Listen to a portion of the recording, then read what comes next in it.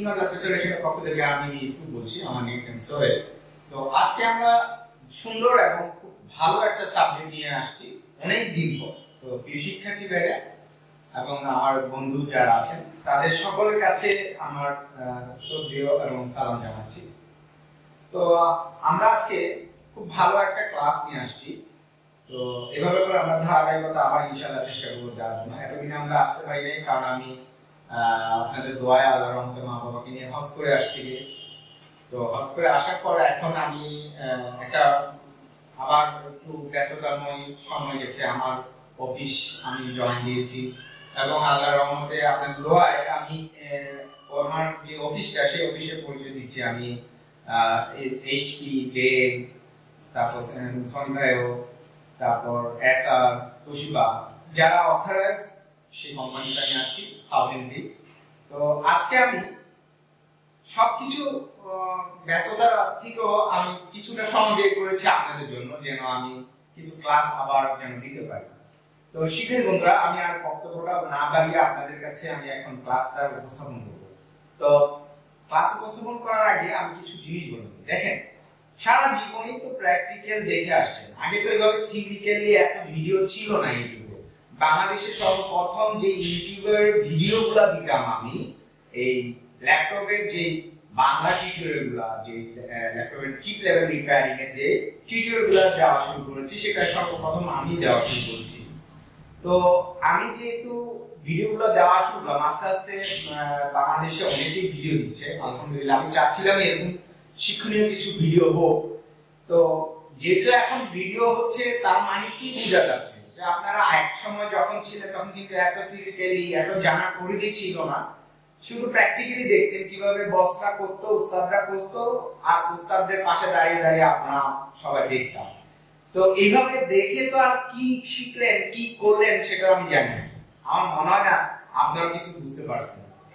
কেন বুঝতে পারতেছেন না, কেন পারতেছেন না করতে? এই কারণে কারণ আপনার ব্রেনের ভিতরে মেটেরিয়ালস আপনি প্র্যাকটিক্যালি যেগুলো দেখছেন, সেগুলো চোখকে এবং মনকে বোঝানোর চেষ্টা করছেন যে হ্যাঁ কাজগুলো এইভাবে হয়। কিন্তু আপনার ব্রেন বুঝতে পারে নাই যে কাজ কীভাবে হয়। তো ব্রেনকে শার্প করার জন্য বা ব্রেনকে বোঝানোর জন্য সবচেয়ে বড় পন্থা হচ্ছে যে থিওরিক্যাল আর এই থিওরিক্যালগুলো যদি আপনি না জানেন, না পারেন, তাহলে হবে না। আর এই থিওরিক্যাল গুলোকেই যত ভালোভাবে প্রেজেন্টেশন করে আপনাকে সহজ উপলব্ধি ভাবে তুলে ধরা যায়, সেটাই হচ্ছে যে আসল শিক্ষা। তো আমরা চেষ্টা করি যে থিওরিক্যাল গুলোকে কীভাবে স্টেপ বাই স্টেপ আপনাদের ব্রেনে তুলে ধরার জন্য।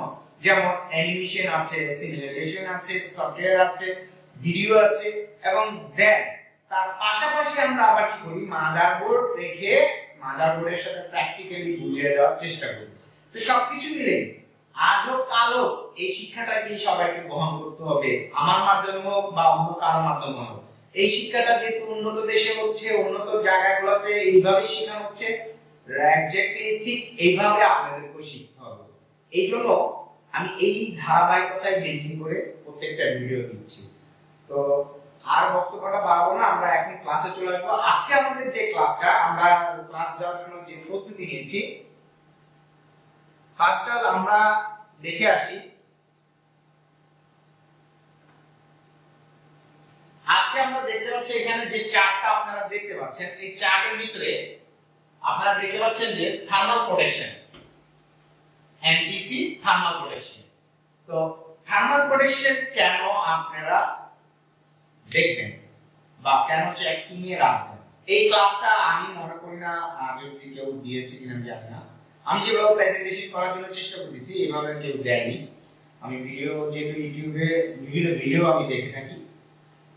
তো থার্মাল প্রোটেকশন মানে হচ্ছে যে একটা ল্যাপটপের ভিতরে কি পরিমাণ তাপমাত্রা হচ্ছে এবং কি পরিমাণ এই হিট হচ্ছে, সেই হিট ক্যালকুলেশনটা এখানে হয়, এই সার্কিটে হয়।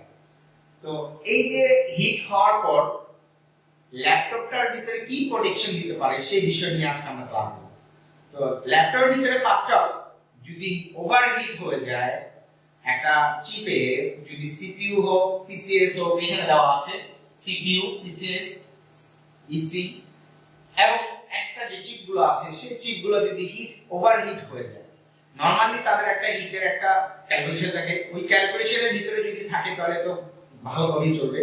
আর যদি তার ওভার হয়ে যায়, তখন দেখা যাবে কয়েক ধরনের প্রবলেম দেখা দিতে পারে। ফার্স্ট অল প্রথম প্রবলেমটা হবে যে কম্পিউটার রিস্টার্ট বা হ্যাঙ্গিং অথবা স্লো মোশন অথবা এমনও হতে পারে যে সার্কিটটা শর্ট হওয়ার কারণে ডেড রিসোর্স মানে ডেড হওয়ার চান্স আছে পাওয়ার আসবে নো পাওয়ার হতে পারে।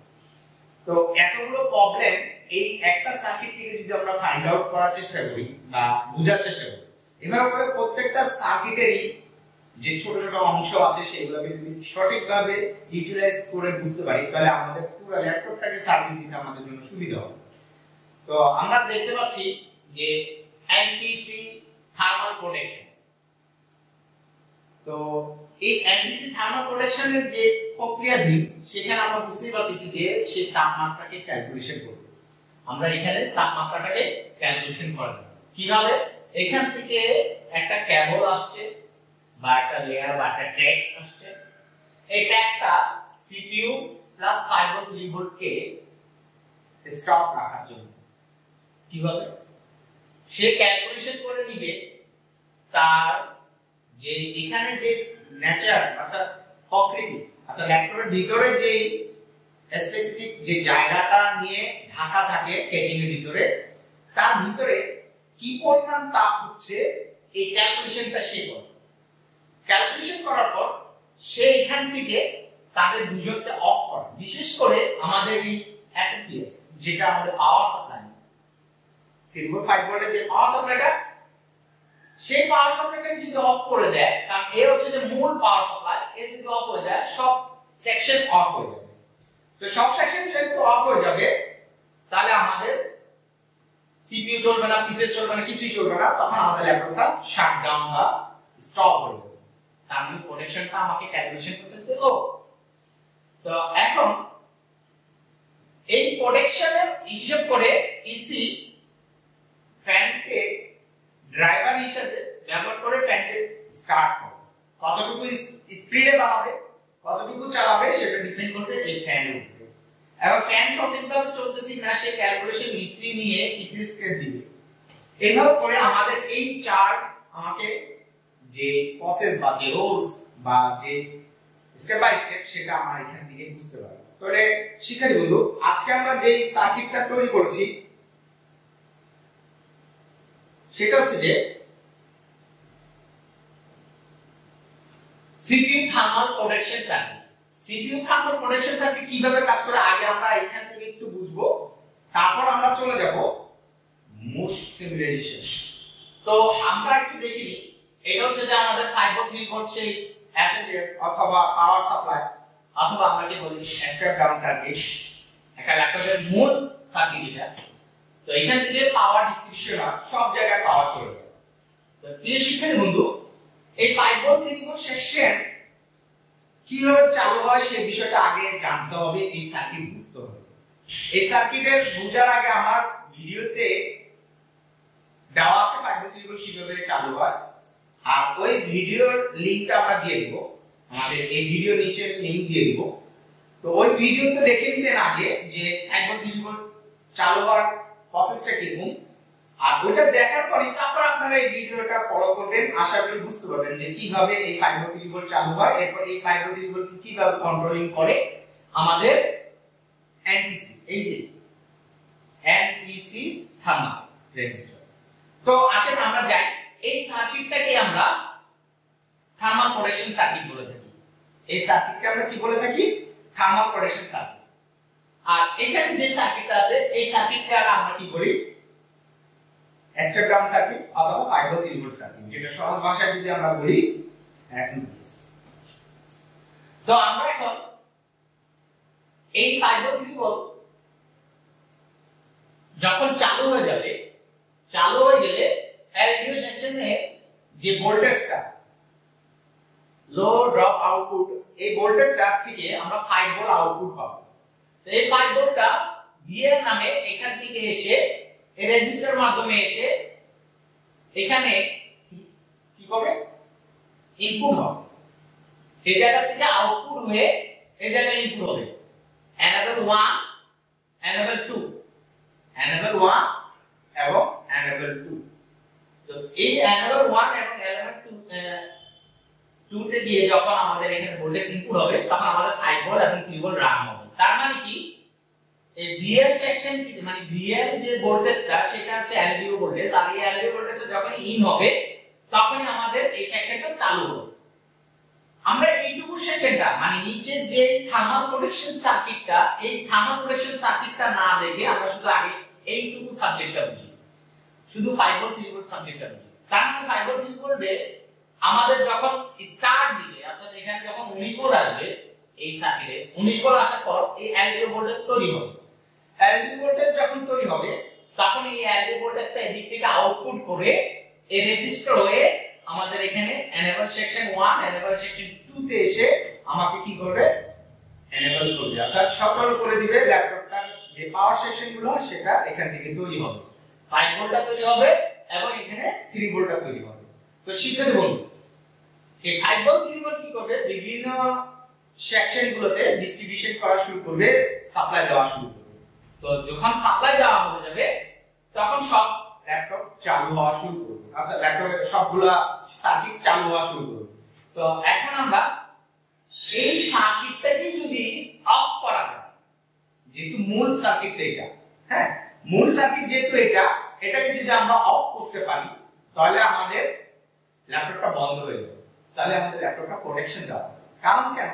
বিশেষ করে একটা জিনিস দেখেন, আপনাদের রুমের ভিতরে বা আপনাদের ফ্ল্যাটে বলেন বা পুরো ঘরে বলেন, সম্পূর্ণ ঘরের ভিতরে যে ইলেকট্রিক সার্কিটের মেইন বোর্ড থাকে, সেটা হচ্ছে যে আমাদের সার্কিটের ভিতরে যে সার্কিট ব্রেকার অর্থাৎ পাওয়ার যে ডিস্ট্রিবিউশনটা হচ্ছে যে জায়গা থেকে মেইন বোর্ড থেকে, সেই সার্কিট ব্রেকারটাকে যদি আমরা অফ করে দিতে পারি, তাহলে কোথাও যদি দুর্ঘটনা হয়, সেটা বন্ধ হয়ে যাবে প্রোটেকশন দেওয়া হবে। তার মানে আমি বোঝানোর চেষ্টা করছি, আপনার, সম্পূর্ণ ঘরের ভিতরে যে কারেন্টের লাইন যাচ্ছে, সেই কারেন্টের লাইনটাকে যদি আমরা মেইন জায়গা মেইন সুইচকে অফ করে দিতে পারি, তাহলে কোথাও যদি দুর্ঘটনা ঘটে, সেটা বন্ধ হয়ে যাবে। ইনস্ট্যান্টলি ওই জায়গা থেকে প্রোটেক্ট দেওয়া শুরু করে দিবে যে হ্যাঁ আর দুর্ঘটনাটা ঘটবে না। তো ঠিকই, এটা হচ্ছে যে আমাদের মেইন সার্কিট এই সার্কিটটাকে যদি আমরা বন্ধ করতে পারি, তাহলে আমাদের প্রোটেকশন দেওয়া হয়ে যাবে। তার মানে দেখেন, কীভাবে বন্ধ হবে? প্রোটেকশন কীভাবে দিবে? এই যে আমাদের থার্মাল যে, এই যে থার্মাল প্রোটেকশন সার্কিট এইটুকু থার্মাল প্রোটেকশন সার্কিট তো এইটুকু থার্মাল প্রোটেকশন সার্কিট কীভাবে কাজ করে সেটা যদি আপনি বুঝেন তাহলে হবে। দেখেন, এখান থেকে যে 5 ভোল্টটা এলডিও এসে এখানে ইন হতো, সেই ইন ভোল্টেজটাকে আমরা যদি এখানে 5 ভোল্ট এখানে আমাদের 5 ভোল্ট এখানে আমাদের 5 ভোল্ট দুইটা 5 ভোল্ট দিয়ে এখানে হিট করে চালু করেছি। আমি যদি এই জায়গাটাকে যদি অফ করে দিই, যে জায়গা চালু হয়, এই জায়গাটা যদি আমি অফ করে দিতে পারি, তাহলে আমার এই সার্কিটটা চালু হবে এই সার্কিটটা যেহেতু চালু হবে না, তখনই আমার ল্যাপটপ, এখান থেকে আর সাপ্লাই দেওয়া শুরু করবে না। অর্থাৎ আমাদের এই সার্কিটটা আর এখান থেকে সাপ্লাই দেওয়া বন্ধ করে দেবে। এখন, এই সার্কিটে চলার জন্য আমাদের কি লাগে? আর এই সার্কিটটা আসলে আমরা দেখতে কেমন পাবো? এখানে একটু লক্ষ্য করবেন এই সার্কিটটা আমরা এরকম দেখতে অর্থাৎ টোটালি এখানে যে সার্কিটটা দেখতে পাচ্ছেন, এখানে এইটাকে বলা হয় কম্পারেটর অর্থাৎ অপারেশন অ্যাম্পলিফায়ার এই অপারেশন অ্যাম্পলিফায়ারটা ভিতরে এরকম থাকে। এটা এই এইট লেগের যে আইসিটা দেখতে পাচ্ছেন, এই এইট লেগের আইসির ভিতরে আপনারা একটু লক্ষ্য করবেন, এখানে আট পা আছে। এক, দুই, তিন, চার, পাঁচ, ছয়, সাত, আট।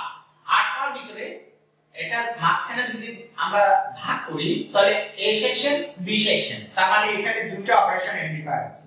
দুইটা অপারেশন অ্যাম্পলিফায়ারের ভিতরে আমরা একটা জিনিস লক্ষ্য করব আমাদের এখানে দেখেন এ সেকশনটা এবং বি সেকশনটা এ সেকশনের ভিতরে আমরা একটা অপারেশন অ্যাম্পলিফায়ার দেখতে পাচ্ছি বি সেকশন একটা অপারেশন অ্যাম্পলিফায়ার দেখতে পাচ্ছি।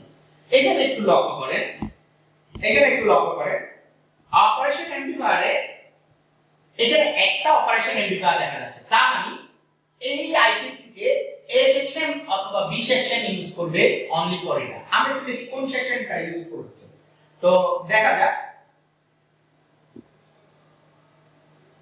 এখানে one two three four eight এই চার, পাঁচটা লেগ নিয়ে একটা অপারেশন অ্যাম্পলিফায়ার তো আমরা যদি ওখানে দেখি যে কোন কোন লেগটা অপারেশন অ্যাম্প্লিফায়ারে করেছে সেটা যদি আমরা ওখানে একটু দেখি, তাহলে আমরা বুঝতে পারব যে এই সেকশন না বি সেকশন নিয়ে কাজ করেছে। দেখেন, আমরা বলছিলাম যে এ সেকশন না বি সেকশন আমরা জানি না। আমরা এখানে একটু লিখে দেখি। 1 2 3 4 এবং 8 তার মানে 1 2 3 4 এবং 8 তার মানে এ সেকশন নিয়ে কাজ করেছে এবং বি সেকশনটা কাজ করেনি।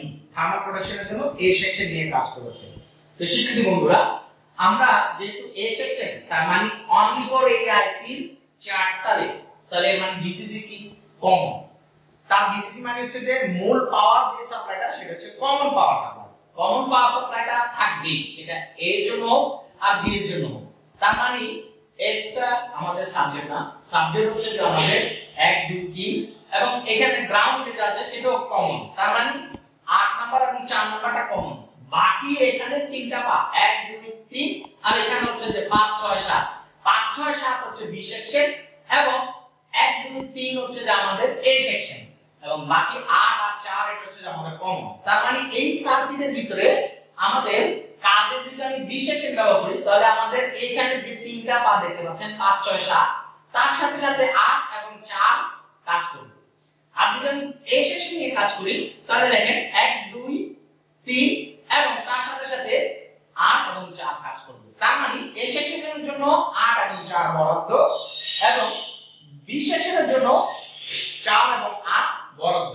তাহলে আমরা বুঝতে পারতেছি, শিক্ষার্থী বন্ধু, এই যে যে আইসিটা, এটা আইসিটা কীভাবে আমরা কাজ করব, প্রত্যেকটা লেগ কীভাবে আমরা আইডেন্টিফিকেশন করে কাজ করব, সেই বিষয়টা নিয়ে আমরা এখানে বললাম। এখন আসা যাক, এই যে আইসিটা, এই সেকশন দিয়ে যখন কাজ করেছে, তখন আমরা এখানে একটু দেখি আট নাম্বারটা হচ্ছে বিসিসি এবং চার নাম্বারটা হচ্ছে যে গ্রাউন্ড তার মানে এখানে আট নাম্বারটা বিসিসি চার নাম্বারটা গ্রাউন্ড এটা হচ্ছে আমাদের কমন মূল যে পাটা, সেটা কোনটা? এক দুই তিন। মূল পাটা কি? এক দুই তিন। তা আমরা একটু দেখে নিই। এক নাম্বারটা হচ্ছে আউটপুট এ দুই নাম্বারটা হচ্ছে যে আমাদের ইনপুট টু তিন নাম্বারটা হচ্ছে যে আমাদের ইনপুট এ তার মানে থ্রি এখন এখানে দেখেন, এখানে ইনপুটটা বলতেছে যে ইনভাইটিং এবং তিন নাম্বারটা বলতেছে নন ইনভাইটিং তার মানে কি? ইনভাইটিং এবং নন ইনভাইটিং ইনভাইটিং মানে হচ্ছে উল্টো আর নন ইনভাইটিং মানে হচ্ছে যে যে অবস্থা আছে সেই অবস্থায়। মানে যা থাকে তা। যেমন আমি বুঝাই, যদি ইনভাইটিং যদি বলে ইনপুট যদি হাই হয় ভিতরেগত ভাবে সে লো চিনবে। হ্যাঁ উল্টো। হাই হলে লো আর এখানে নন ইনভাইটিং মানে হচ্ছে, যদি হাই থাকে তাহলে ভিতরেও হাই চিনবে। অর্থাৎ সার্কিটের ভিতরে যে ইন্ডিভিজুয়ালি ওয়ার্কিং সিস্টেমটা সেখানে যদি নন ইনভাইটিং হয়, এখানে যদি হাই হয়, তাহলে ভিতরে সে হাই চিনবে হাই কাজ করবে। আর যদি ইনভাইটিং যদি হয় ইনপুট তাহলে সেখানে যদি হাই হয়, ভিতরে হবে লো আর যদি ইনপুট যদি লো হয়, তাহলে ভিতরে হবে হাই তার মানে আমি বুঝতে পারলাম যে এখানে লেগগুলো কীভাবে কাজ করতেছে। শিক্ষার্থী বন্ধুরা, এবার এখানে দেখেন।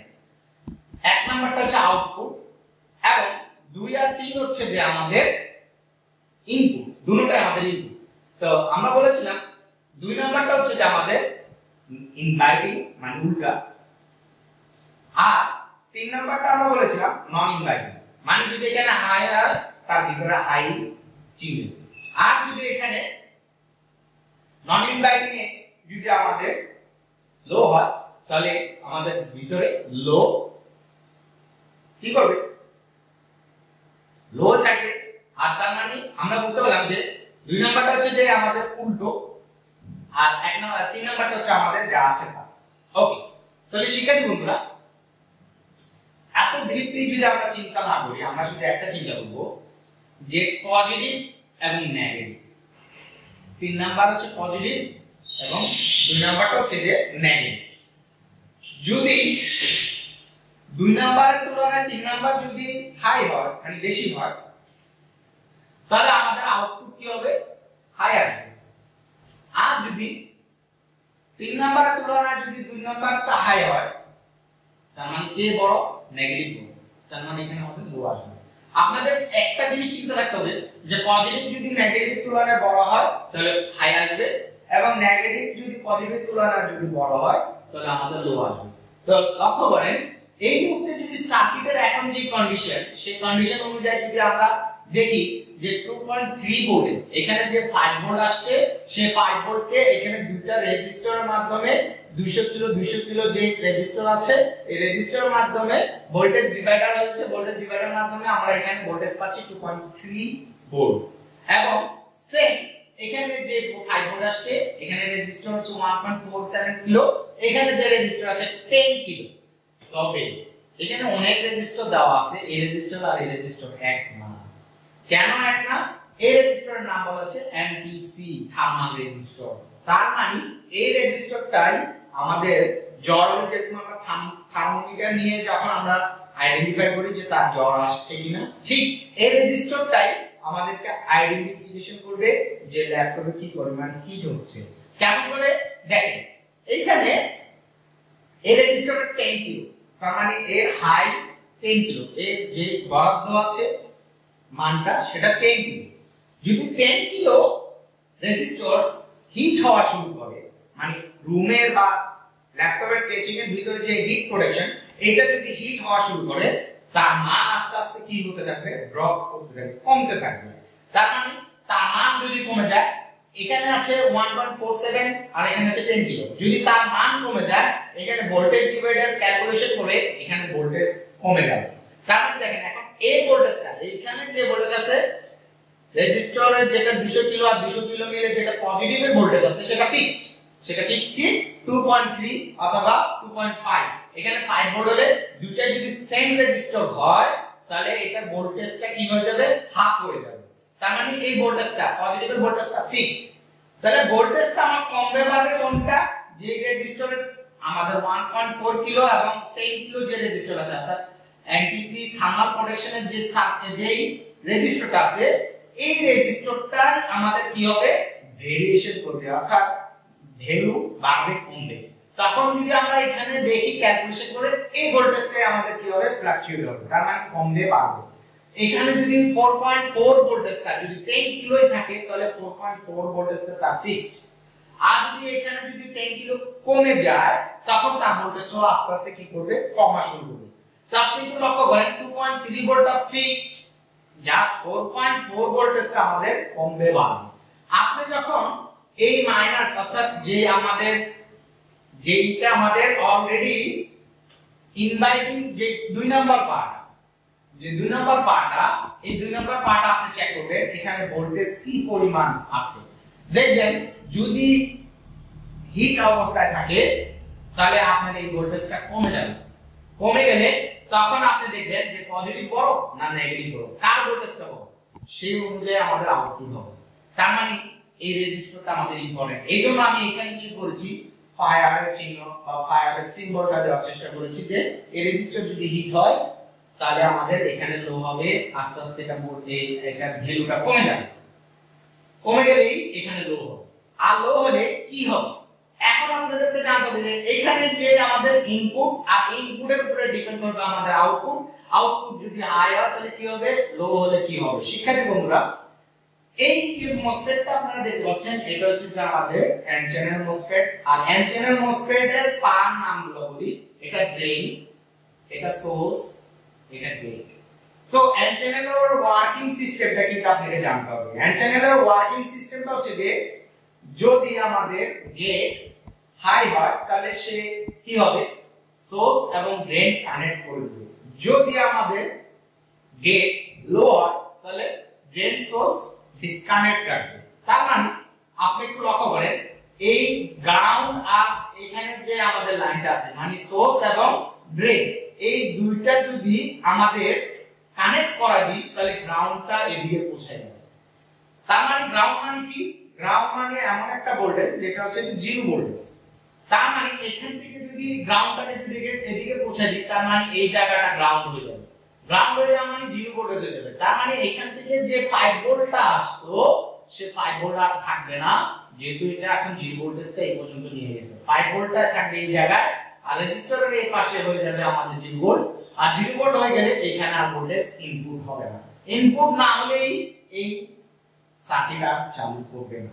তার মানে এই চ্যানেল মোসফেটটা একটা সুইচিং হিসেবে কাজ করতেছে। আর এখানে অপারেশন অ্যাম্পলিফায়ারটা আমাকে সেই সুইচিং এর গেটকে সচল করার জন্য অথবা অফ রাখার জন্য ব্যবস্থা করতেছে। কীভাবে? হাই এবং লো এর মাধ্যমে। যদি এখানে যদি আমাদের পজিটিভ ভোল্টেজ বড় হয়ে থাকে, তাহলে হাই পাঠা দিবে। হাই পাঠা দিলে চ্যানেল ওয়ার্কিং করা শুরু করবে। ওয়ার্কিং এর সিস্টেম মানে হচ্ছে যে সোর্স ড্রেন একসাথে করে দিবে নেগেটিভটা উপরে চলে যাবে। যদি আমাদের এখানে অপারেশন অ্যাম্পলিফায়ারে যদি আমাদের নেগেটিভ ভোল্টেজ বড় হয়ে থাকে পজিটিভের তুলনায়, তাহলে আমাদের লো হবে। তখন আমাদের এন চ্যানেলের যে ওয়ার্কিং সিস্টেম অফ থাকবে, কারণ কেন? লো আসলে এন চ্যানেল অফ হয়। তার মানে এখানে যে গ্রাউন্ডটা সে আর এখানে যাবে না। যদি এখানে না যায়, তাহলে এখানে ভোল্টেজটা এখান থেকে ভোল্টেজটা এই দিকেও আসে যাবে, আর এখানে এন চ্যানেলের এই পর্যন্ত মানে এই ড্রেন পর্যন্ত আমাদের ভোল্টেজটা থাকবে। তার মানে এখানে 5 ভোল্ট এখানে 5 ভোল্ট এবং এখানে 5 ভোল্ট এসে যাবে। এসে গেলে এখানে আমাদের 5 ভোল্ট ইনপুট চালু হয়ে যাবে। শিক্ষার্থী বন্ধুরা, আশা করি আপনারা বুঝতে পারছেন যে এই জায়গায় কীভাবে কাজ করে। তার মানে অপারেশন অ্যাম্পলিফায়ারটা বোঝা অবশ্যই বাধ্যতামূলক। এবং আপনারা জানেন কিনা আমি বলে রাখি যে অপারেশন অ্যাম্পলিফায়ার এই অপারেশন অ্যাম্পলিফায়ারের মাধ্যমে আমাদের আইসি কাজ করে। অর্থাৎ প্রত্যেকটা আইসি তৈরি হয় অপারেশন অ্যাম্পলিফায়ার ফ্লিপ সার্কিটের মাধ্যমে এবং and gate NOR gate OR gate মানে লজিক গেটের মাধ্যমে এবং বিভিন্ন রকমের যে সার্কিটগুলো তৈরি হয়, তার মূল ফ্যাক্টরটা হচ্ছে যে অপারেশন অ্যাম্পলিফায়ার অর্থাৎ এটা আমাদের খুবই ইম্পর্টেন্ট একটা সাপোর্ট তো অপারেশন অ্যাম্পলিফায়ার যদি বুঝতে পারেন, তাহলে আপনি বুঝতে পারবেন অপারেশন অ্যাম্পলিফায়ার শুধু যে থার্মাল প্রোডাকশন সার্কিটে ব্যবহার তা না, এটা আরও অনেক জায়গায় ব্যবহার করা হয়। তাহলে আমরা আজকের যে ল্যাপটপের যে কাজগুলা, সেটা আরেকটা ধারাবাহিকতার ভিতরে আমি নিয়ে যাচ্ছি, সেটা হচ্ছে অপারেশন অ্যাম্পলিফায়ার আর এই অপারেশন অ্যাম্পলিফায়ারটা কীভাবে কাজ করতে হয়, সেটা আমরা আজকে ক্লাসে বুঝাবো তাহলে শিক্ষার্থী বন্ধুরা, আশা করি আমাদের আজকের যে চার্টটা আছে, এই চার্টটা আপনারা নিশ্চয়ই ধরতে পেরেছেন কীভাবে কাজ করে। তাহলে আমরা এখানে একটু চলে যাই। আমরা একটু চলে যাই যে কীভাবে এই চার্টের সাথে আমরা আমাদের মাদারবোর্ডে দেখব। লক্ষ্য করেন, এটা হচ্ছে আমাদের মাদারবোর্ড আর আমরা যদি আমাদের যে সার্কিটের এই মাদারবোর্ডের যে সার্কিট যে আমাদের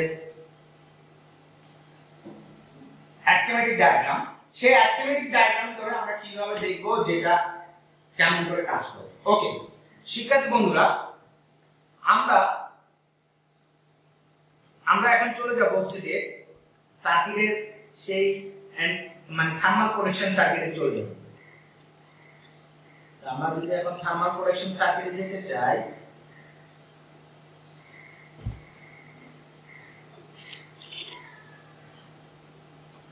এখানে দেখেন, এই NTC thermal protection circuit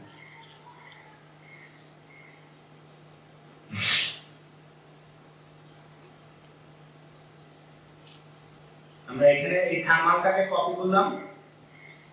copy করে আমরা পেস্ট করলাম এন্টার দিই আপনারা নিশ্চয়ই দেখতে পাচ্ছেন, আমি এখানে থার্মাল প্রোটেকশন সার্কিটে চলে যাচ্ছি।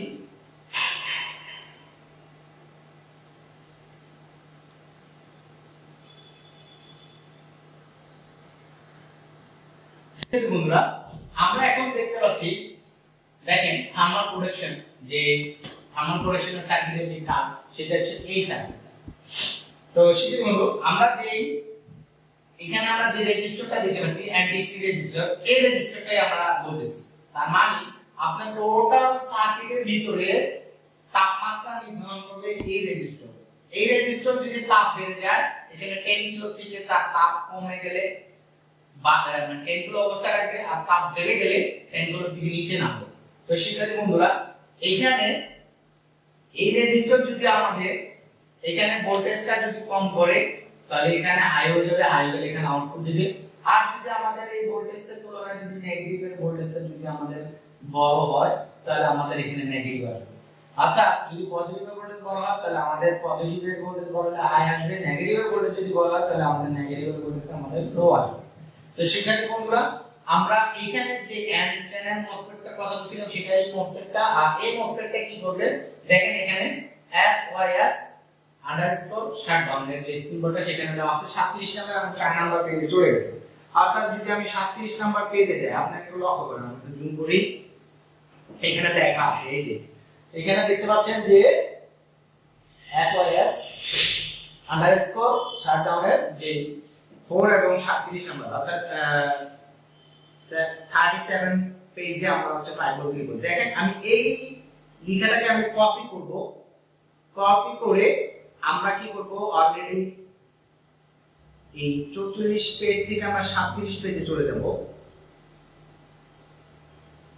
সাতত্রিশ পেজে আসলাম। এখন কিন্তু লক্ষ্য করেন, আমরা ফাইভ ও ত্রিভুজ সেকশনে চলে আসলাম। এবং আমরা ফাইভ ও ত্রিভুজ সেকশনে যখনই আমরা শাটডাউনের যে ইয়াটা, সেটা আমরা যদি দেখি এই যে দেখেন, এটা হচ্ছে শাটডাউনের সেই সার্কিটটা তো এই সার্কিটে যদি আমি শাটডাউনের এই বিষয়টা যদি আমি দেখি, দেখেন,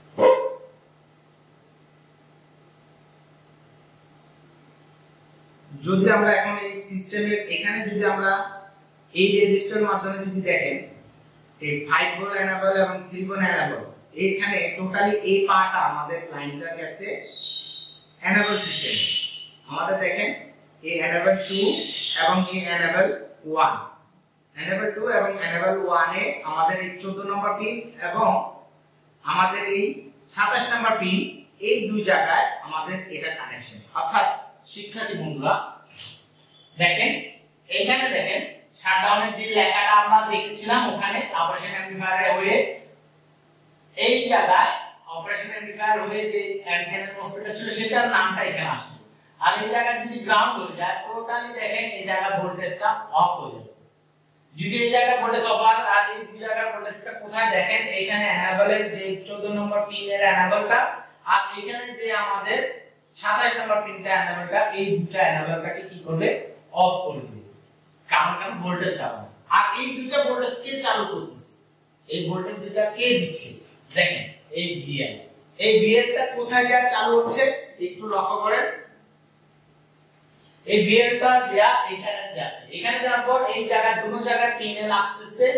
লেগে গিয়ে আমাদের এই ফাইবার এবং থ্রি ভোল্টকে অ্যানাউন্স করতেছে। অর্থাৎ এই ভিএলটা গিয়ে এদিকে এসে দুই জায়গায়, এই জায়গায় এবং এই জায়গায় এসে ফাইবার হিট করতেছে। ফাইবার হিট করে তারপর আমাদের এই সার্কিটটা চালু করতেছে যদি আমরা এই ভোল্টেজটাকে যদি আমরা এই জায়গায়, এই দেখেন 39 কিলো এই রেজিস্টার এই পর্যন্ত যদি আমরা ভোল্টেজটাকে অফ রাখি, তার মানে দেখেন, এই ভোল্টেজটা রেজিস্টরের এই পিন থেকে, দুই নাম্বার পিন থেকে এই কানেকশন যদি এই জায়গা গ্রাউন্ড হয়ে যায়, তার মানে এই জায়গায় গ্রাউন্ড হয়ে গেল।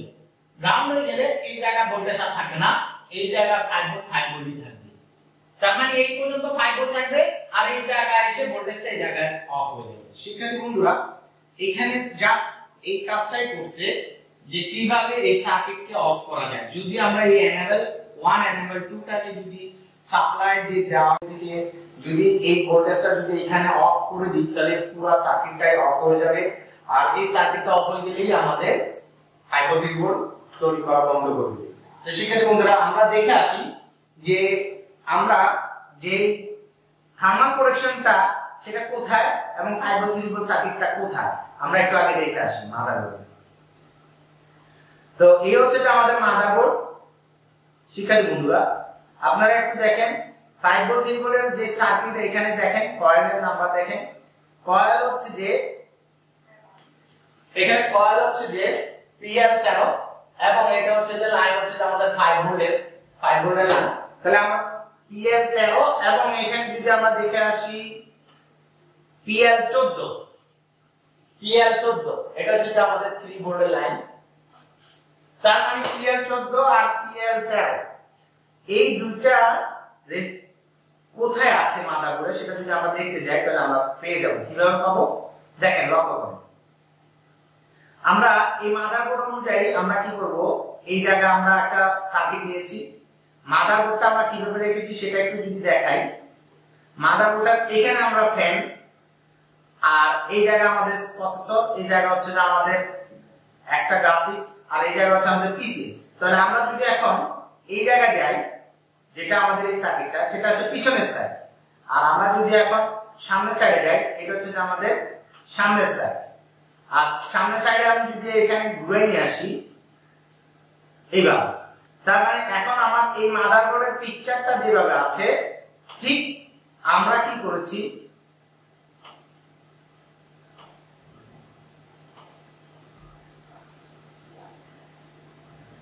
আমরা কি পিকচারটা যেভাবে আছে, ঠিক এইভাবে করে আমরা দুটাকে পাশাপাশি নিয়ে যাই, বোঝানোর জন্য। ওকে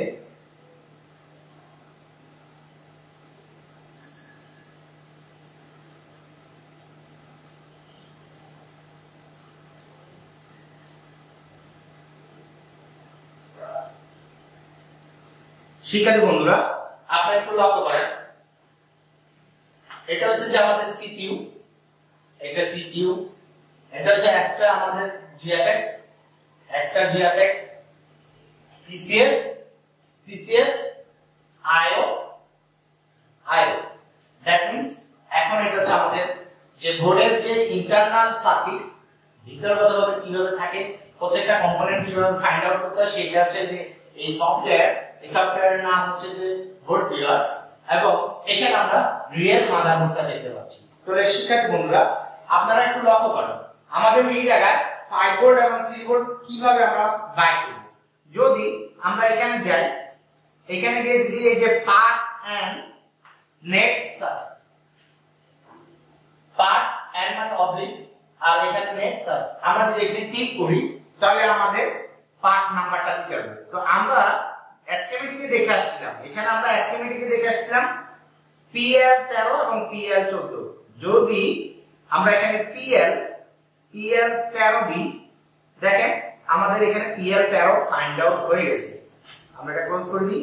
এই যে পিএল 13টা এই জায়গায় সিলেক্ট হয়েছে লক্ষ্য করেন, যদি পিএল 13 এখানে পিএল 13 যদি সিলেক্ট হয়, এটা হচ্ছে আমাদের পিসিএল তার মানে এটা হচ্ছে আমাদের পিসিএল একটু লক্ষ্য করেন, আমি একটু বড় করি।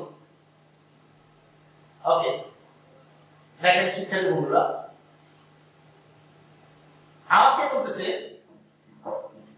এটা হচ্ছে আমাদের পিসিএস এখানে একটা কয়েল এখানে একটা কয়েল এখানে একটা কয়েল শিক্ষার্থী বন্ধুরা, এটা পিসিএস এখানে একটা কয়েল এখানে একটা কয়েল এখানে একটা কয়েল তার মানে আমাদের এই কয়েলটা হচ্ছে যে আমাদের সিলেক্ট করা আছে।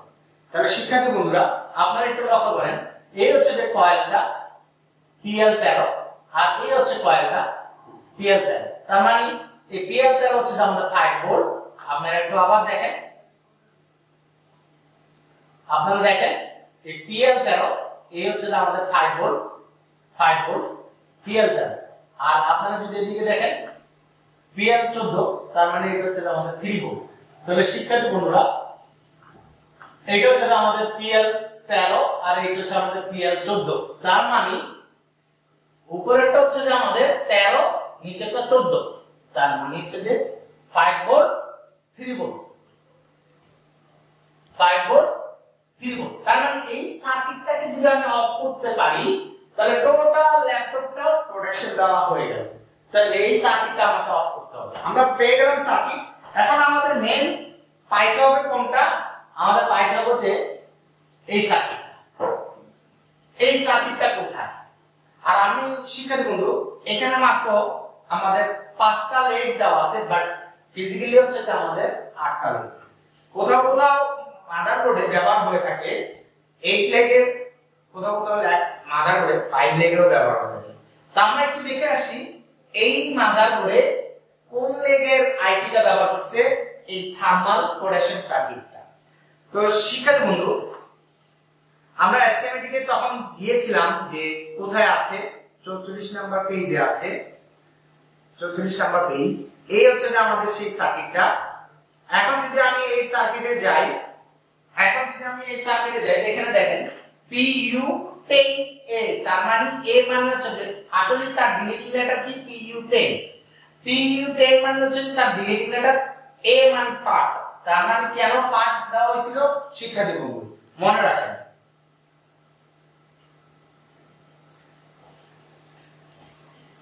এ বি তার মানে এর ভিতরে দুইটা পার্ট আছে। একটা পার্ট হচ্ছে এ একটা পার্ট বি তার মানে আমাদের যে এসকেমেটিকটা ছিল, সেই এসকেমেটিকে আমরা দেখে আসছি, এটা হচ্ছে এ তার মানে আমাদের দুইটাই একটা। তার মানে এখানে যে সার্কিট ইন্টারনাল সার্কিট আছে, সেই সার্কিটটা হচ্ছে এ তার ভিতরে আরেকটা ইন্টারনাল সার্কিট আছে বি সেটা এখানে দেয় সেটা হয়তো অন্য পেজে আছে। কিন্তু আমাদের দরকার হচ্ছে এ সেকশন যেহেতু এই সেকশন নিয়ে আমরা কাজ করতেছি। ওকে তো আমরা দেখে আসি, আমাদের মূল বিষয় হচ্ছে যে পিইউ টেন তাহলে শিক্ষার্থী বন্ধু, আমরা কীভাবে যাব পিইউ টেন কে ফাইন্ড আউট করার জন্য?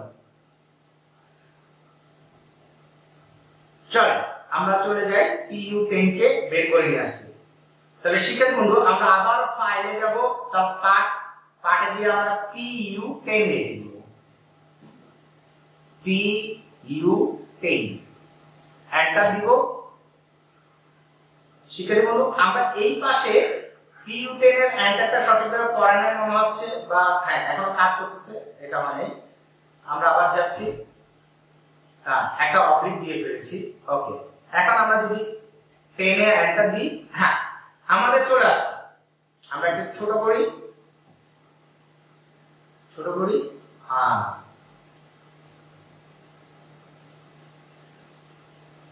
শিক্ষার্থী বন্ধু আমরা এখানে দেখতে পাচ্ছি PU10 তার মানে CPU GFX TCS এর মাঝখানে আমাদের সিলেকশন হচ্ছে। তার মানে এখানে একটু দেখেন CPU GFX TCS তার মানে এইখানে সিলেকশন আমরা এখানে একটু বড় করি। ওকে আমরা যখন বড় করলাম। দেখেন CPU GFX TCS এই সেই পা, এই সে আছে আমরা একটু ছোট করে এটা সিলেকশনটা বন্ধ করি। দেখেন, এক, দুই, তিন, চার, পাঁচ, ছয়, সাত, আট, তার মানে এদিক থেকে এক। এই হচ্ছে সেই আইসিটা আমরা এখানে একটু বড় করে দেখি।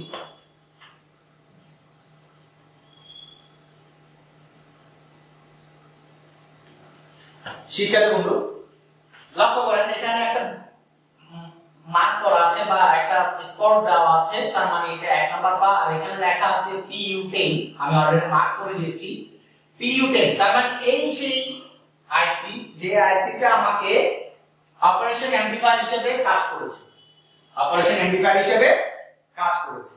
শিক্ষার্থী বন্ধু, এই সেই PU10 এক নাম্বার দুই নাম্বার তিন নাম্বার চার নাম্বার এবং আট নাম্বার এ তার মানে এক দুই তিন হচ্ছে যে আমাদের মেন এক নাম্বারটা হচ্ছে যে আমাদের আউটপুট দুই তিন হচ্ছে যে আমাদের ইনপুট এবং আট নাম্বার হচ্ছে আমাদের ডিসিসি সাপ্লাই চার নাম্বারটা হচ্ছে আমাদের গ্রাউন্ড তাহলে শিক্ষার্থী বন্ধু, আমাদের এই পাঁচটা পা এ আর দুটা বি দেখি, তাহলে হচ্ছে যে আমাদের চার রকম। পাঁচ, ছয়, সাত এবং আট আর চার। এই কটা নিয়ে মানে অর্থাৎ এই এই সাইডে তিনটা পা বাদ দিয়ে বাকিটা হচ্ছে বি আবার এই পাশে এই তিনটা পা বাদ দিয়ে বাকিটা হচ্ছে এ তাহলে শিক্ষার্থী বন্ধুরা, আপনারা আইসি অলরেডি আপনারা দেখতে পাচ্ছেন পিইউ 10 এখন আসেন আমাদের ওই সার্কিটের ভিতরে মেইন যে বিষয়টা ছিল সেটা কি? মেইন বিষয়টা হচ্ছে যে এই আইসিটার সাথে আমরা এখানে যে রেজিস্টারটা দেখতে পাচ্ছি, এখানে যে রেজিস্টারটা দেখতে পাচ্ছি, সেটা হচ্ছে মেইন অর্থাৎ আমরা এখানে পিআর 187 যে 10 কিলো রেজিস্টারটা এনটিসি এটা হচ্ছে আমাদের মেন এই এই রেজিস্টারটা যদি সম্পূর্ণ মাদারবোর্ডের ভিতরে যদি সে হিট গ্রহণ করা শুরু করে, তখন সে কি করবে? এই জায়গার ভোল্টেজকে কমাই কেমন করে কমাবে? সে যখন মান আস্তে আস্তে কমে যাবে, এই দুইটা ক্যালকুলেশন করে এখানে আমাদের ভোল্টেজ কমে যাবে।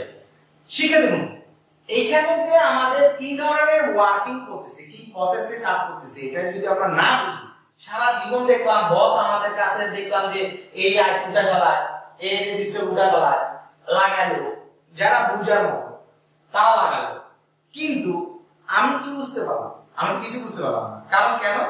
আমি তো দাঁড়ায় দাঁড়ায় দেখতেছি বসে আমার বলল যে হ্যাঁ এটা খারাপ হচ্ছে দেখো। হ্যাঁ এটার মান কমে গেছে, এটা দশ কিলো আছে, এটার মান কমে গেছে, এটা এটা খুলে গেল আসলে কি এইভাবে কাজ করে? না।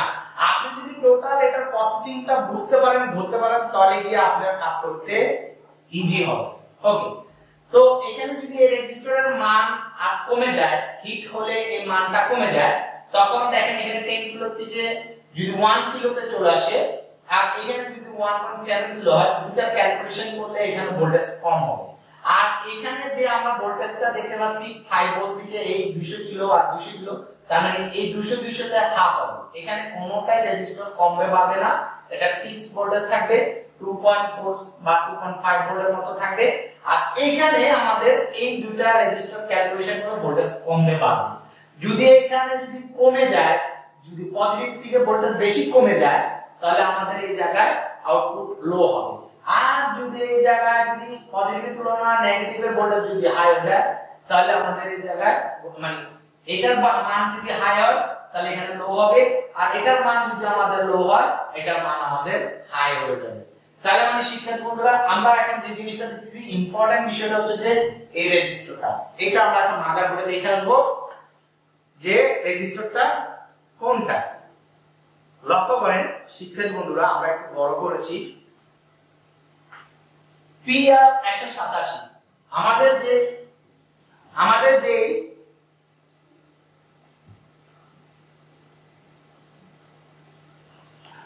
আমাদের যে রেজিস্টারটা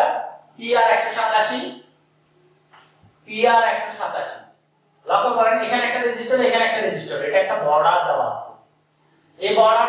এখানে আমাদের বর্ডারটা দেখতে পেরেছেন কিনা শিক্ষার্থী বন্ধু? তো এইখানে একটা রেজিস্টার এখানে একটা রেজিস্টার এখানে একটা রেজিস্টার এখানে একটা রেজিস্টার তার মানে দুইটা রেজিস্টার আছে। আর আপনারা প্রশ্ন করতে পারেন যে রেজিস্টার তো এখানেও দুইটা আছে, এখানেও আছে। আপনি কেমন করে বুঝলেন স্যার যে এই রেজিস্টারটা সেই রেজিস্টার ওকে শিক্ষার্থী বন্ধুরা, আপনারা রেজিস্টারটাকে যখন মার্ক করা দেখবেন, ওই রেজিস্টারটা কীভাবে লেখা হচ্ছে সেটা আপনাকে ফাইন্ড আউট করতে হবে। লেখাটা কি? আপনাদেরকে এভাবে লম্বালম্বি ভাবে করেছে কিনা? বা এখানে রেজিস্টারটা দেখেন দুটো রেজিস্টার পাশাপাশি। তো আপনাদের মাথায় রাখতে হবে যে রেজিস্টারের লেখাটা কীভাবে আছে? এখানে রেজিস্টারটা লম্বা লম্বা আছে, তার মানে রেজিস্টারটা লম্বা লম্বা আছে। এখানে একটা রেজিস্টার, এখানে একটা রেজিস্টার। এখানে একটা রেজিস্টার, এখানে একটা রেজিস্টার। তাহলে শিক্ষার্থী বন্ধুরা, আপনারা ধরতে পারতেছেন যে এই রেজিস্টারটা সেই রেজিস্টার। তার মানে এই রেজিস্টারটা এই রেজিস্টার।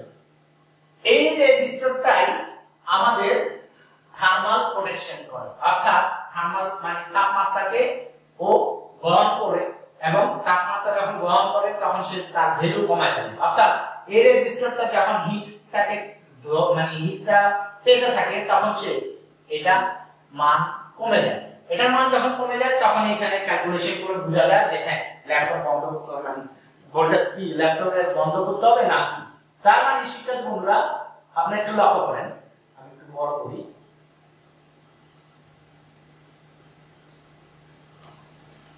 শিক্ষার্থী বন্ধুরা, আপনাদের এই জায়গায় হেডসিন থাকে আমরা একটু করি।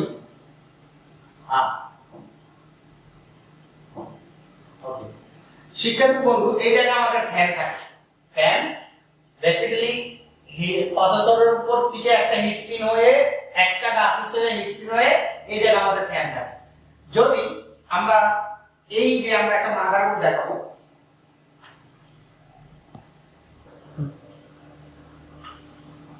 আমরা এখানে একটা মাদারবোর্ড দেখাচ্ছি। এই মাদারবোর্ডটা দেখেন প্রসেসর উপরে একটা হিটসিন আছে রাইট আমাদের যে হিটসিন আর এই হচ্ছে যে আমাদের ফ্যান তো ঠিক এভাবে আমাদের এভাবে আমাদের এই হিটসিনটা এখানে বসে এবং এখানে আমাদের হিটসিনের কপার হয়ে এই জায়গায় আমাদের ফ্যান বসে। যদি আমাদের এই জায়গায় যদি থার্মাল সেই রেজিস্টারটা থাকে আর এখানে অপারেশন অ্যাম্পলিফায়ারটা থাকে। এই থার্মাল রেজিস্টারটা, এটার উপর দিয়ে থাকতেছে। তার মানে পুরো ল্যাপটপটা ঢাকা থাকে, ঢাকা থাকলে এই জায়গায় যদি হিট হয় অটোমেটিক সেই হিটটা বুঝতে পারবে। কারণ পুরো ল্যাপটপের ভিতরে প্রচুর পরিমাণে হিট হয়। ফ্যানের এখানে হাত দিলে আপনারা বুঝতে পারবেন যে অনেক বাতাস, গরম বাতাস বেরোচ্ছে তার মানে বোঝা যাচ্ছে যে এ বাইরে আপনি ফ্যানের ফ্যানের বাইরে যখন আপনি হাত দেন তখন কিন্তু আপনার হিট লাগে আর তার ভিতরে যত অবশ্যই অনেক হিট হয়। তার মানে তার এখানে হিটটা যখন পড়তে থাকে, তখন আস্তে আস্তে তার ভ্যালু কমে যায়। ভ্যালু কমে গেলে এইখানে অপারেশন সে ক্যালকুলেশন করে ভোল্টেজ পাঠায়। আর ভোল্টেজটা যখন ইনপুট হয়, তখনই এই আউটপুট কি করবে? এক নাম্বার পা দিয়ে আমাদের আউটপুট কি করবে? এই 5 ভোল্ট 3 ভোল্ট যে সার্কিট আছে, এই 5 ভোল্ট 3 ভোল্ট সার্কিটে সে কি করবে? বন্ধ করে দিবে। অর্থাৎ যদি এই জায়গায় সে তাপমাত্রাটা গ্রহণ করবে করে এই জায়গায় এই সার্কিটটাকে বন্ধ করে দিবে। অর্থাৎ এই জায়গার তাপমাত্রা বুঝে এই সার্কিটটা এখান থেকে যে কয়েল থেকে যে ভোল্টেজ আর এই কয়েল থেকে যে ভোল্টেজ বের করবে সেটা বন্ধ করে দিবে। তাহলে আমাদের যদি মেইন সার্কিটটা বন্ধ হয়ে যায় টোটাল ল্যাপটপটা আমাদের বন্ধ হয়ে যাবে। টোটাল এই রেজিস্টার কি কখনো আপনারা চেক করে দেখছেন? কখনো কি আপনারা বুঝতে পারছেন যে এই রেজিস্টারের কারণে আমাদের তাপমাত্রা যে বেশি কম যে ক্যালকুলেশন করে এই রেজিস্টারটা কখনো আপনারা চিন্তা করে দেখছেন এবং এই আইসিটা যে অপারেশন এমপ্লিফায়ারটা যে কীভাবে কাজ করে, কখনো কি আপনারা ভেবে দেখছেন? শুধু তো প্র্যাকটিক্যাল প্র্যাকটিক্যাল বলে বলে চি- চিল্লান বা প্র্যাকটিক্যাল করে করে দেখেন, বুঝেন, সেটা কি কোনোদিন দেখেছেন? এবার আসেন, আমরা এই মাদারবোর্ডের উপরে বেস করে এই সার্কিটটুকু এবং এই সার্কিটটুকুকে আমরা ভিডিওতে যে সফটওয়্যার যেটা বেসিক্যালি ইঞ্জিনিয়াররা যে সফটওয়্যারের মাধ্যমে বুঝে নেয় আগে যে সার্কিটটা তৈরি করার পর কাজ করবে কীভাবে। যে সফটওয়্যারের মাধ্যমে এই সার্কিটটা বুঝে, সেটা আমরা আজকে অন করে দেখাবো। দেখেন। করার আগে আগে তারা দেখে নেয় যে কীভাবে সার্কিটটা কাজ করে।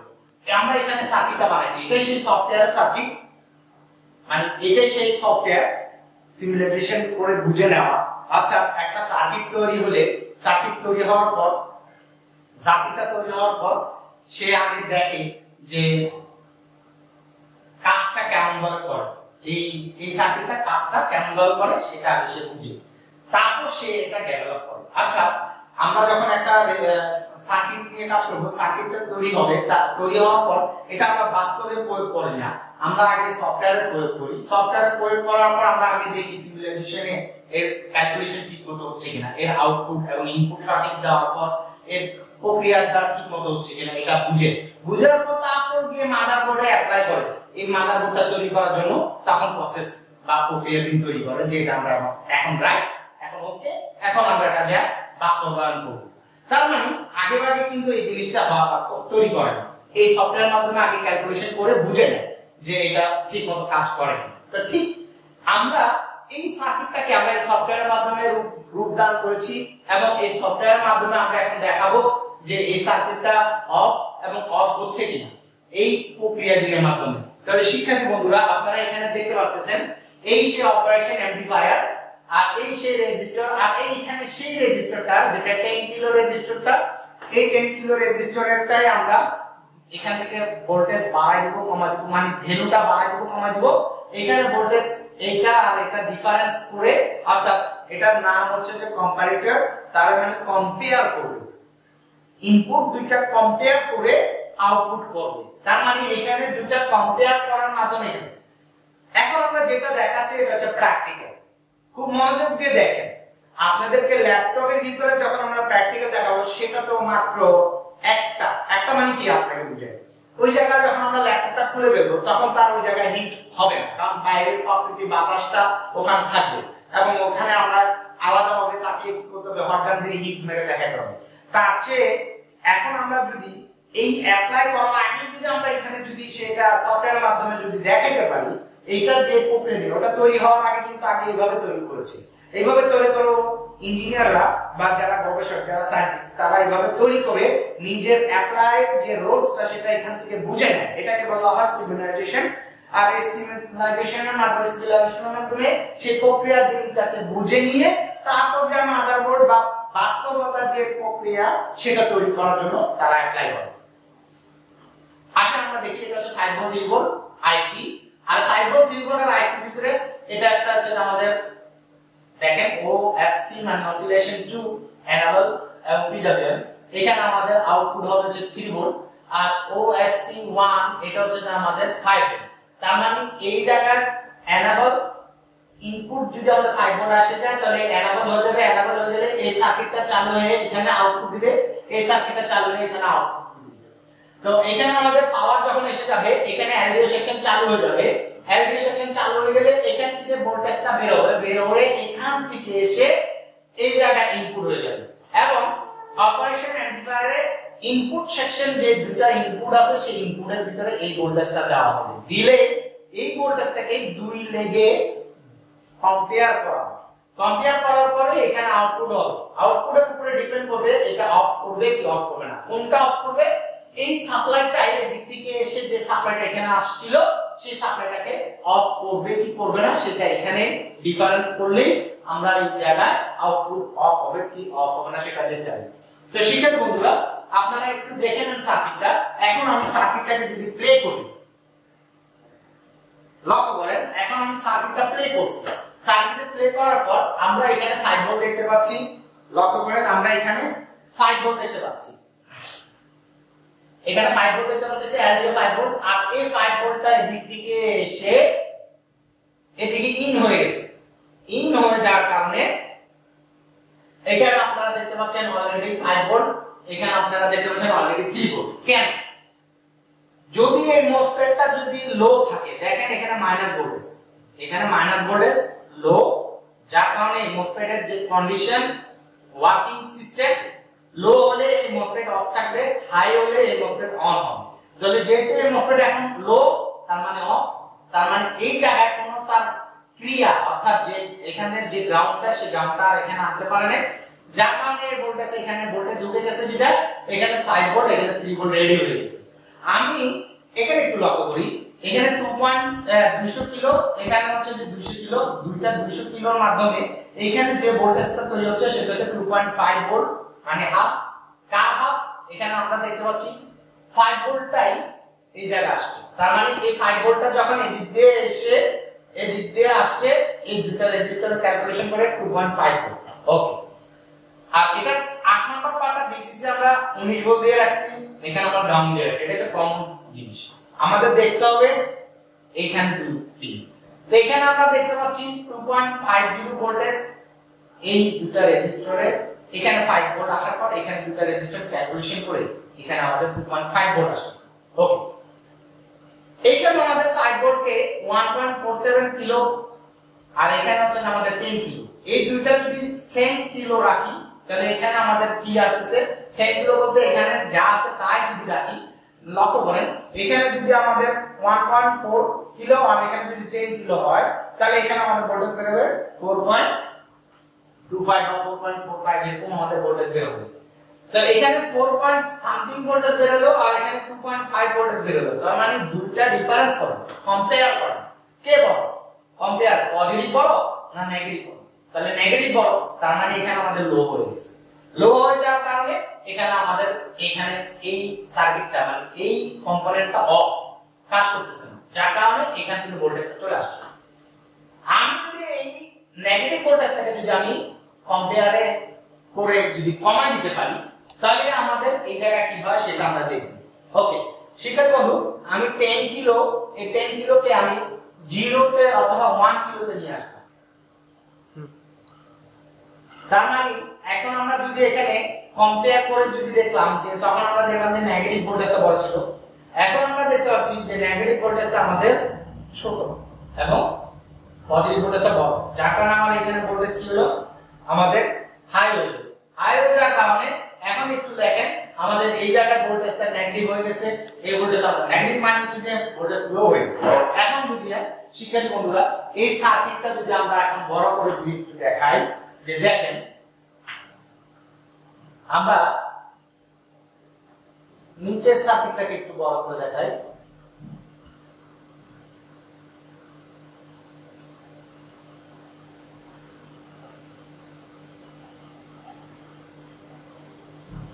এখন দেখা যায় তার মানে শিক্ষার্থী বন্ধুরা আপনারা একটু লক্ষ্য করেন এখানে আমি একটু জুম করে আবার আহ, ছোট বড় করে দেখাই এই-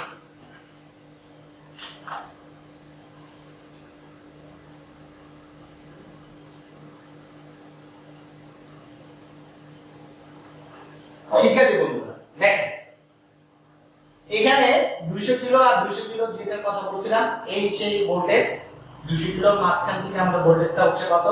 এখানে 1.4 কিলো আর এখানে হচ্ছে আমাদের যে 10 কিলো ছিল, এখন এখন 1 ওহমস আছে। তার মানে দুইটা ভোল্টেজ দুইটা রেজিস্টারের ভেরিয়েশন করে এখানে ভোল্টেজ কত হচ্ছে? সেটা।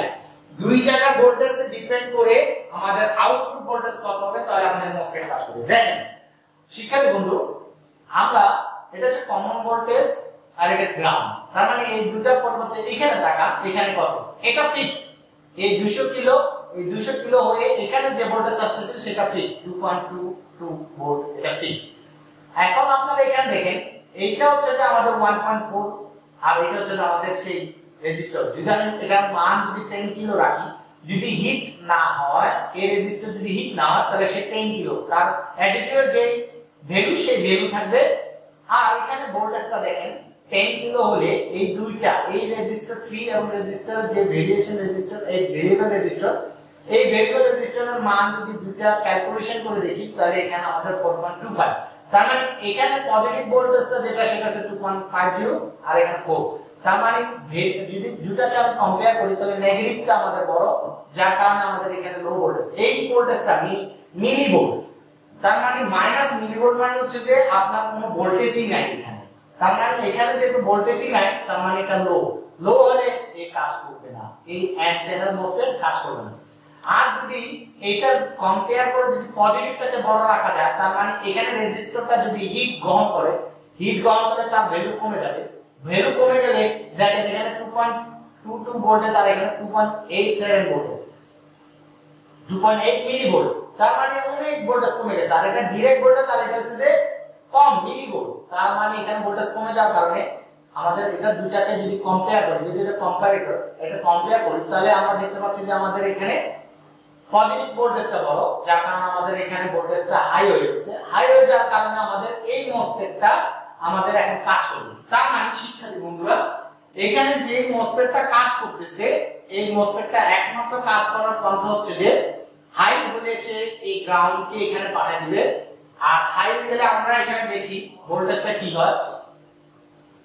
দেখেন এখানে আমাদের মাইনাস ভোল্টেজ তার মানে মাইনাস ভোল্টেজ মানে মিলিভোল্ট মিলিভোল্ট মানে মিটারে করবে না এই মিলিভোল্ট তার মানে মিলিভোল্ট এখানে করবে না আমি যদি এই এইখানে যদি আমি যদি এটাকে কম্পেয়ারে যদি এখানে এই চ্যানেল মোসফেটকে যদি আমি অফ রাখি, তাহলে দেখেন এখানে ভোল্টেজটা আবার হাই হয়ে তো শিক্ষার্থী বন্ধু, এখানে আবার হাই হয়ে গেছে 5 ভোল্ট এখানে হাই হয়ে গেছে 3 ভোল্ট 3.3 ভোল্ট তার মানে শিক্ষার্থী বন্ধুরা, আমরা এখানে একটা জিনিস কম্পেয়ার করে বুঝতে পারলাম যে দুইটা ভোল্টেজ আমরা যদি দেখতে চাই, এইটার উপরে ডিপেন্ড করবে। এখানে যদি আমি এটা কমাই দিই, এটা যদি আমরা কমাই দিই হ্যাঁ এখন যদি আমরা এটা কমাই দিই, তাহলে দেখেন এখানে ভোল্টেজ নাই। আর যদি আমরা একটু ছোট করি হ্যাঁ দেখেন, শিক্ষার্থী বন্ধুরা হ্যাঁ এটা যদি এখানে যদি এই যদি ভেরিয়েশনে যদি আমি অ্যাটিটিউড রাখি রাখি, তাহলে এখানে আমাদের 5 ভোল্ট আর এখানে 3 ভোল্টই থাকতেছে। আর যদি আমরা এখানে যদি এই রেজিস্টার মান যদি কমাই তাহলে এখানে দেখেন এইখানে 5 ভোল্ট এবং 3 ভোল্ট জিরো হয়ে যাচ্ছে মানে ভোল্টেজ কমে যাচ্ছে। তার মানে আমাদের কি বোঝানো যাচ্ছে? যে আমাদের এই জায়গা ভোল্টেজ নাই। তার মানে এই রেজিস্টারটা উপরে ডিপেন্ড এখানে যদি তাপমাত্রা বেড়ে যায় তাহলে আমাদের এখানে মান ভ্যালু কমে যাবে। কমে গেলে এই দুই লেগ ইনপুটের দুই লেগ কম্পেয়ার করবে। কম্পেয়ার করার পর সে বুঝতে পারবে এআইসি বুঝতে পারবে যে আউটপুট আমার কি দিতে হবে। আর যদি এখানে যদি আমাদের এটা ঠান্ডা থাকে, অর্থাৎ এই রেজিস্টার যদি ঠান্ডা থাকে, তাহলে আমাদের এই রেজিস্টারের ভ্যালু যা আছে তা হয়ে যাবে। তখন আবার এখানে দুইটা ইনপুট কম্পেয়ার করে বুঝতে হবে যে আউটপুট কি দিবে। তার মানে এটার উপরে ডিপেন্ড করে আপনারা একটু আমাদের এই ফাইবার ত্রিভুজের যে আউটপুট এখানে আপনাদের কয়েল দেখতে পাচ্ছেন, এই কয়েলের আউটপুটে যদি লক্ষ্য করেন, আমি এই রেজিস্টার মান কমা দিচ্ছি, ওখানে মিলিভোল্ট হয়ে যাচ্ছে না জিরো হয়ে যাচ্ছে, আর এটা যখন আমি আবার বাড়া দিচ্ছি, তখন এখানে আবার ফাইবার ত্রিভুজ তৈরি হচ্ছে।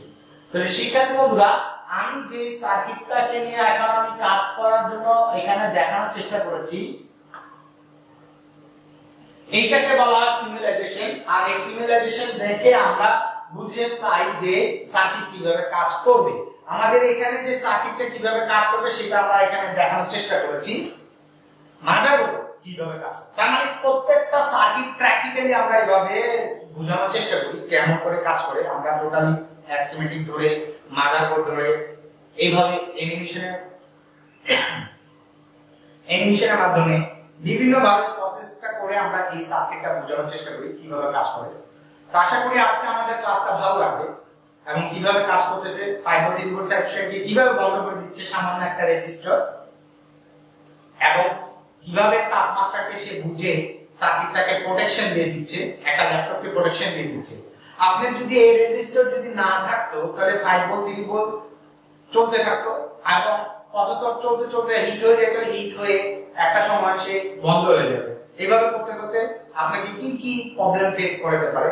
এক, আপনার প্রসেসর খারাপ হতে পারে। দুই, আপনার হার্ড ডিস্ক যেটু খাস খাস করে রেস্টার্ট নিবে বা বন্ধ হয়ে যাবে, তখন হার্ড ডিস্কে ইফেক্ট আসবে।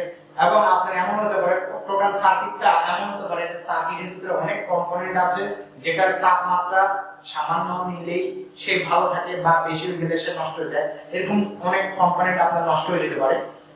বিশেষ করে আপনার অনেক দামি দামি চিপসেট আছে, যেমন টিসিএস এবং সিপিইউ এগুলো খুব দামি দামি চিপসেট এই চিপসেটগুলা যদি নষ্ট হয়ে যায় আর এই চিপগুলো যদি খারাপ হয়ে যায়, তখন কিন্তু আপনার অনেক অনেক ব্যয়বহুল খরচ। আর এই খরচটা অবজার্ভ করা সম্ভব না। যার কারণে সামান্য একটা রেজিস্টার রেজিস্টারের দাম বেশি গেলে এক থেকে দুই টাকা হবে। অথবা আপনার মাদার বোর্ড যে কোনো মাদার থেকে নিয়ে লাগাতে পারবেন। তার মানে একটা কম দামের কম্পোনেন্ট নষ্ট হবে জাস্ট এত এত বড় বড় সার্কিট গুলোকে সেফ রাখার জন্য। এই জন্য এটাকে আমরা কি বলি? প্রোটেকশন সার্কিট তার মানে এই প্রোটেকশন সার্কিট খুবই ইম্পর্টেন্ট একটা ল্যাপটপের জন্য হোক, একটা কম্পিউটারের জন্য হোক, বা একটা ইলেকট্রনিক সার্কিটের জন্য হোক। কীভাবে প্রোটেকশন প্রক্রিয়া করে সেটা আমরা এখানে বুঝেছি। আপনারা একটু চিন্তা করেন যে এই যে প্রোটেকশন সার্কিট এই যে ল্যাপটপে ইলেকট্রনিক্স এর প্রোটেকশন করতেছে, কীভাবে প্রোটেকশন করতেছে, কীভাবে এর প্রক্রিয়া দিন হচ্ছে কীভাবে এটা কাজ করে? এটা যদি আপনারা সঠিকভাবে যদি বুঝতে না পারেন বা আপনারা যদি না বুঝে কাজ করেন, তাহলে আপনারা বলেন কীভাবে কাজ করবেন।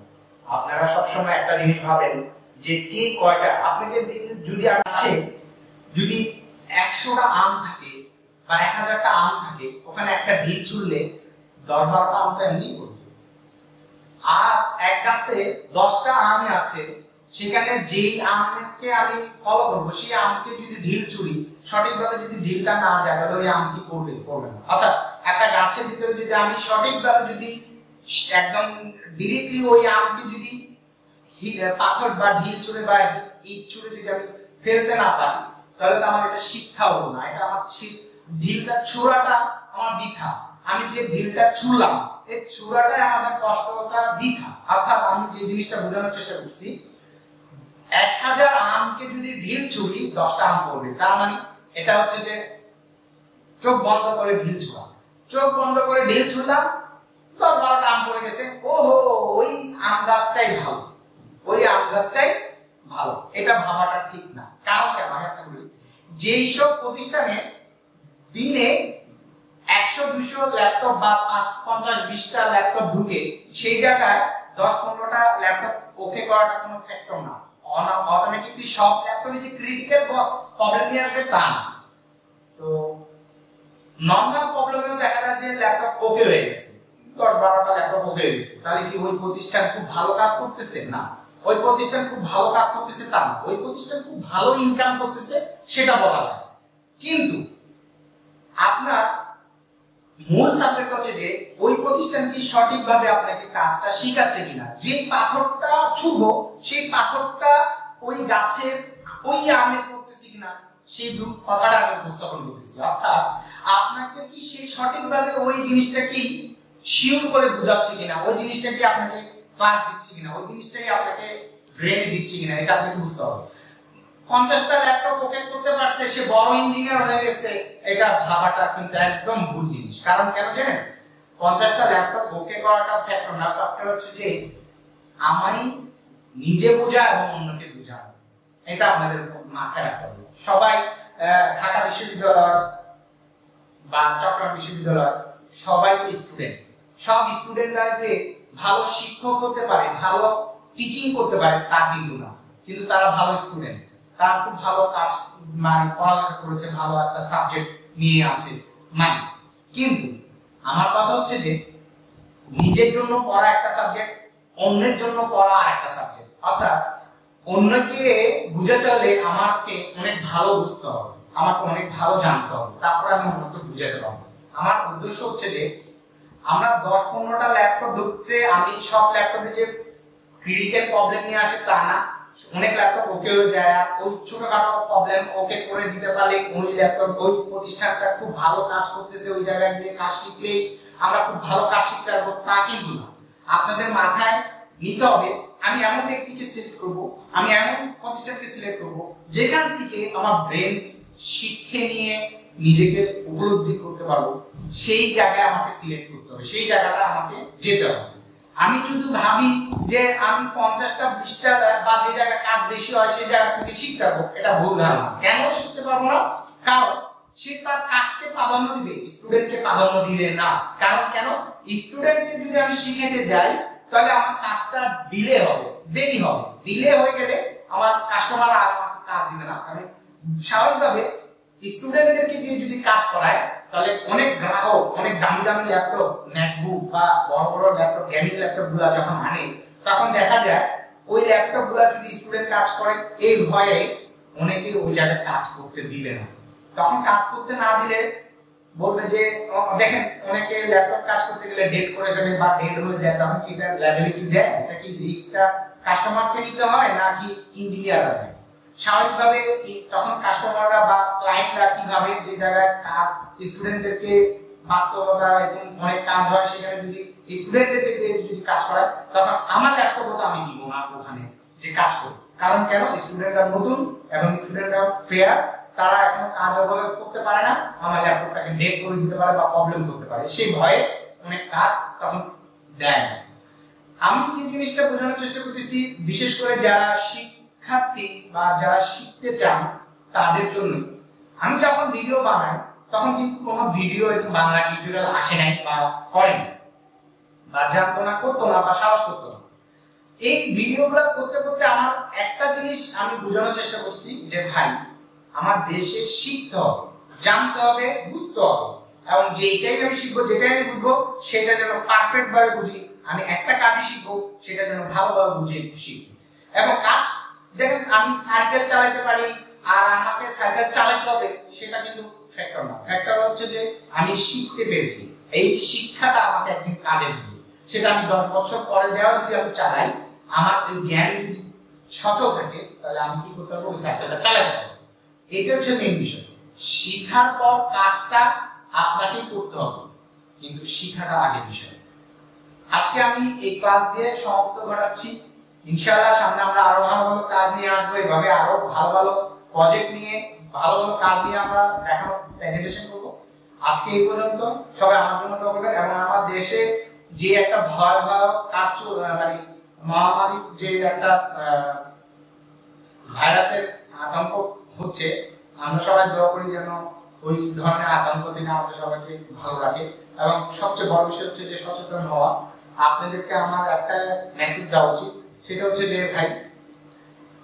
আপনারা নিজেরা যদি ইফেক্টেড হন বা অসুস্থ হন, আমরা চেষ্টা করব যারা এরকম অসুস্থ, তারা আমরা চেষ্টা করব যেন পরিবার থেকে একটু আড়ালে বা একটু দূরে থাকি। তাদেরকে যেন একটু সেভে রাখি। কারণ কেন? আমরা অসুস্থ, ঠিক, আমি তো অসুস্থ হয়ে গেছি, আমাকে পালানোর কোনো অপশন নাই। আমাকে বরঞ্চ টেক কেয়ার করতে পারে এমন লোকের কাছে যাওয়া উচিত। আমার ফ্যামিলি তো আমাকে টেক কেয়ার করতে হবে না। কারণ না আমাকে টেক কেয়ার করতে গিয়ে তারা এফেক্টেড হবে, তারা প্রবলেম হবে। তার চেয়ে ভালো ফ্যামিলিকে সেফ রেখে আমাকে যেখানে সেফটি দিচ্ছে আমাকে, সেখানে যাওয়া উচিত। যারা এই বিষয়ে গবেষণা করে, এই যে আমার একই সাবজেক্ট যারা বুঝাতে জানে, যারা করতে পারে, তাদের কাছে যান। যারা বুঝে না, করতে পারে না, তাদের কাছে গিয়ে তো লাভ নেই। অর্থাৎ আমাদের এখানে যে দেশের যে যাদেরকে এই করোনা ভাইরাসের জন্য পারফেক্ট মনে হচ্ছে যে হ্যাঁ ওরা আমাকে সেফটি রাখতে পারবে ওরা আমাকে এটার উপরে জ্ঞান দিতে পারবে। আমি তাদের কাছে যাওয়া উচিত। তাদের কাছে গিয়ে অন্তত আমি যতটুকু সেফটি হলে আমার রক্ষা হবে, আমার আল্লাহ আমাকে রক্ষা করবে সেইটা আমার করা উচিত এবং ফ্যামিলিকে রক্ষা করা উচিত। এটা আমার বড় বিষয়। আর বাকি যারা আমাকে সাজেস্ট করবেন যে হ্যাঁ আমি ভালো থাকার জন্য, আমার ফ্যামিলি ভালো থাকার জন্য, এই সাজেস্টগুলো গ্রহণ করার চেষ্টা করবেন। কারণ কেন? দেশে আমি যদি নিজেকে সেভ করতে যাই, যদি দশজনকে আহত করি, তাহলে ওই দশজনের মাধ্যমে আমার ফ্যামিলিও এফেক্টেড হতে পারে। তা আমাকে আমি যদি আক্রান্ত হই, তাহলে আমাকে একটু সেফটি ভাবে চলতে হবে, আমাকে একটু সচেতন ভাবে চলতে হবে। আমার ফ্যামিলির দিকে হোক বা দশজনের ফ্যামিলির দিকে হোক, একটু আড়ালে থেকে তাদের যেখানে আমাকে যাওয়া দরকার সেখানে আমাকে যেতে হবে। তো আল্লাহর কাছে দোয়া করি আল্লাহ যেন সাহায্য করেন আমাদের এই ধরনের রোগ থেকে রক্ষা পেতে আজকে এই পর্যন্ত আল্লাহ হাফিজ। আসসালামু আলাইকুম কিনারা সলিউশনের পক্ষ থেকে আমি স্যার বিদায় নিচ্ছি।